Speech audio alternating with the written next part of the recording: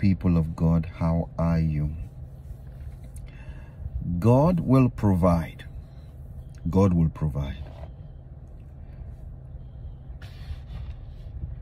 What you need to survive for the rest of the year, God will provide. For the years ahead, for what we need to survive for the year, God will provide. Okay?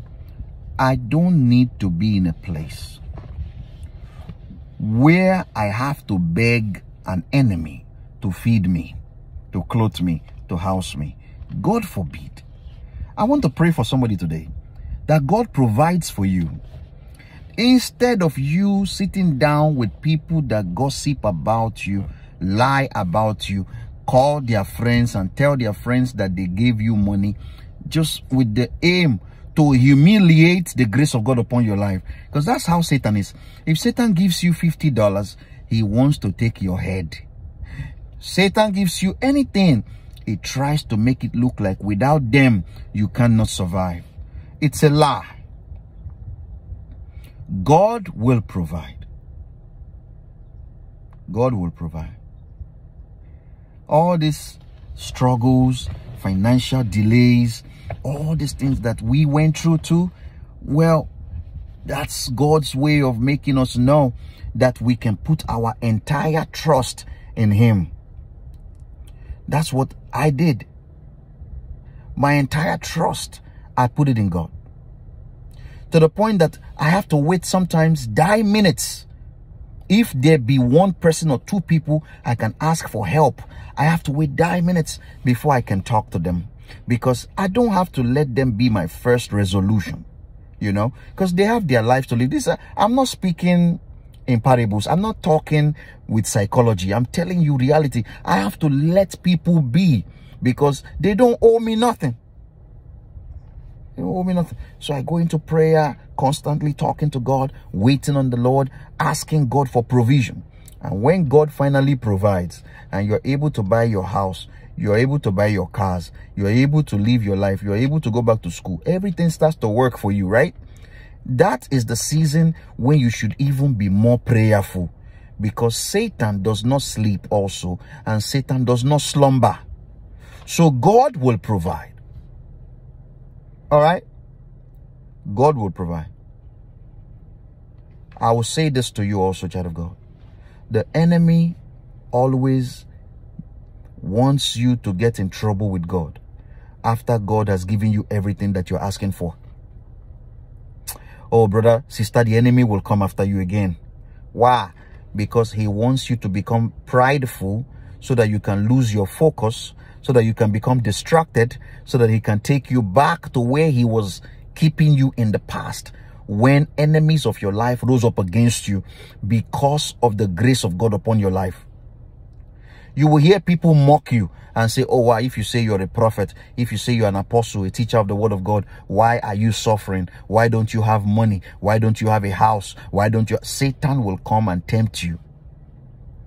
But you know how Jesus Christ overcame Satan? Luke chapter 4, Matthew chapter 4. The Bible say it is written, thou shalt not tempt the Lord thy God, and him only shalt thou serve.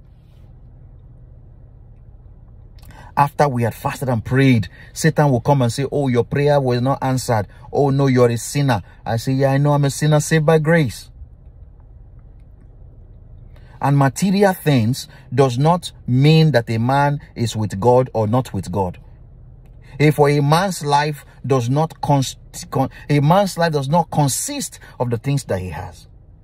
You cannot judge any man or woman based on anything that you see them have hey, for tomorrow they can wake up and everything is turned into the wind. All right. But my relationship with God will never dwindle, will never shake, because that is where I anchor my faith.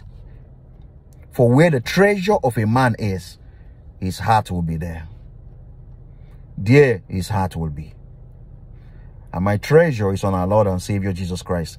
With my shortcomings, with my mistakes, with my failures in life, with my woes in life, Everything, I put it in Christ. Satan can do his worst. I will never turn my face away from the house of the Lord. Never. You see what happened to me, right? As soon as we got into the assignment, the devil was coming to ask me questions about my assignment. And God said, Kenneth, don't tell them your assignment. You will hear satanic people say, what is your plan? What other plan do we have than to serve God with our lives? Any other thing that we get in life, it is just secondary. For nobody will leave the earth with anything that was given to them by God. Your primary assignment is to please God. Let us hear the conclusion of the whole matter. The Bible says, fear God and keep his commandments. So be careful, church. Be careful, child of God. Know it that God will provide. Nobody is allowed to play the role of God over your life because of anything that God used them to do. You thank God for them, you bless them, you wish them well, you pray for them. And that is it.